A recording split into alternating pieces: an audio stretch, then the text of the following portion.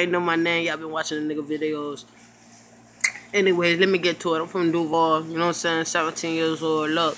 So check this, you know what I'm saying? Destruction before design. The destruction is the shit a nigga going through. Sleeping outside, hotel bathrooms, warehouses, etc. You know what I'm saying? Designer is the shit that I want, you know what I'm saying, in life. Everybody wants designer, but don't want to go through the destruction part, you know what I mean?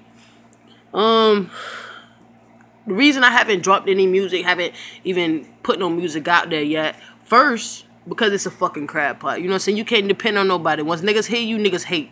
And that's real rap. Niggas hate on you, dog. For real. So you do your own thing, do yourself. Number two is because I want y'all to see the videos of the shit I done went through, the shit I'm going through.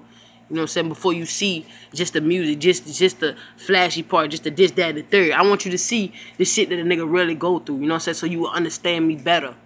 A lot of people don't understand me, you know what I'm saying?